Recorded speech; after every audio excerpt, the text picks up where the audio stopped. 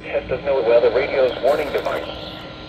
During potentially dangerous weather situations, specially built receivers are automatically activated to warn of impending hazards.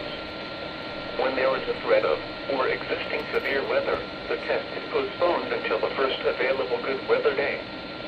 Reception of this broadcast and the warning alarm will vary at any given location. This variability, normally more noticeable at greater distances from the transmitter, may occur even though you are using a good quality receiver in perfect working order. The warning alarm will be activated for warnings in selected watches affecting locations in portions of West Kentucky, Southeast Missouri, Southern Illinois, Southwest Indiana, and Northwest Tennessee. Concludes this test of NOAA Weather Radio's warning device. We now return to our regular programming.